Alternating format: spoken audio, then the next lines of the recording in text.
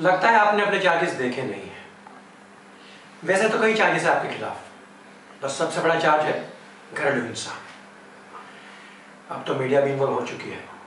तो इसका मतलब है कि केस कोर्ट में जाने से पहले ही आपके खिलाफ हो चुका है। और अगर कोर्ट में जज कोई लेडी हुई तो कम से कम दस साल की सजा पक्की समझिएगा फिर बेल भी नहीं मिलेगी। और उसके लिए सुप्रीम कोर्ट जाना होगा। पर वहाँ भी बचने के चांसेस बहुत ही कम है। हाँ एक काम हो सकता है। अगर हम कोर्ट में यह साबित कर दें कि आपकी दिमागी हालत ठीक नहीं है, आपका खाना आसान हो जाएगा। और जिन्होंने आपके खिलाफ कंप्लेंट की है, उनका भी यही कहना है। तो कोर्ट में आपको मेंटली अनस्टेबल साबित करना बड़ी बात नहीं होगी।